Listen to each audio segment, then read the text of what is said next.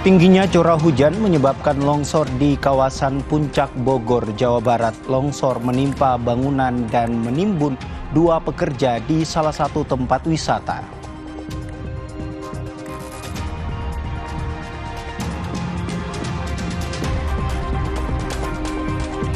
Polrestabes Makassar menetapkan caleg DPR RI dari Partai Demokrat sebagai tersangka dalam kasus politik uang dengan barang bukti video yang viral.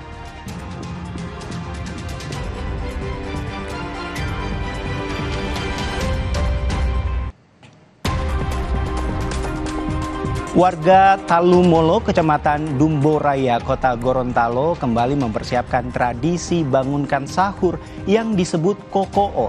Tradisi yang ada sejak zaman dulu terus dilestarikan sebagai penanda bulan suci Ramadan telah tiba.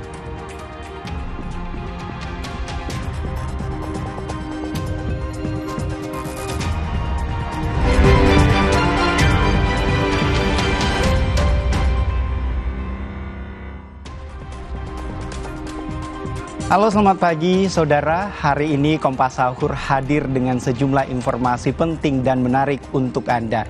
Selain tiga informasi yang menjadi sorotan tadi, kami juga masih memiliki sejumlah informasi khas Ramadan untuk Anda. Bersama saya, Brian Jabli. Inilah Kompas Sahur selengkapnya di Kompas TV Independen Terpercaya.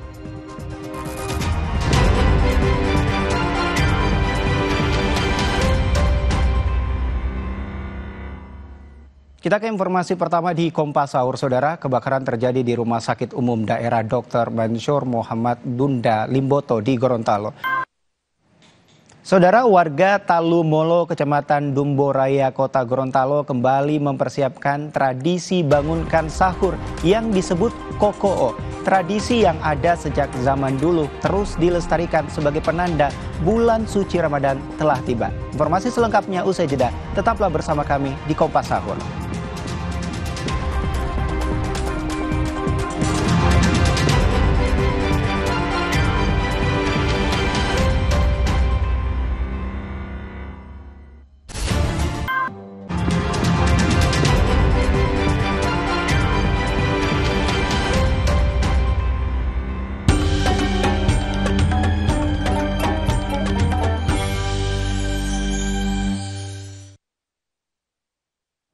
Terima kasih saudara Anda masih menyaksikan Kompas Sahur bersama saya Brian Jabli. Saudara, pagi ini kita akan menyapa rekan jurnalis Kompas TV.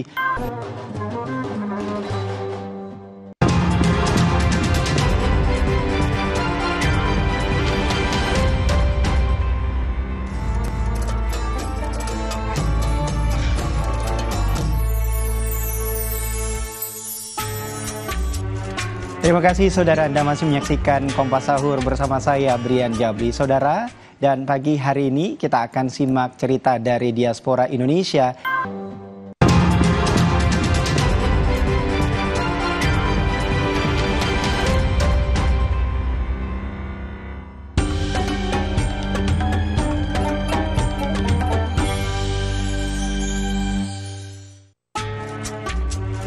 Saudara ada beragam kudapan ciri khas daerah di Indonesia yang biasa digunakan saat Ramadan.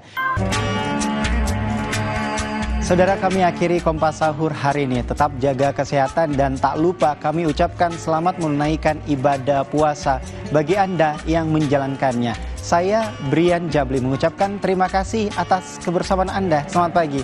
Sampai jumpa.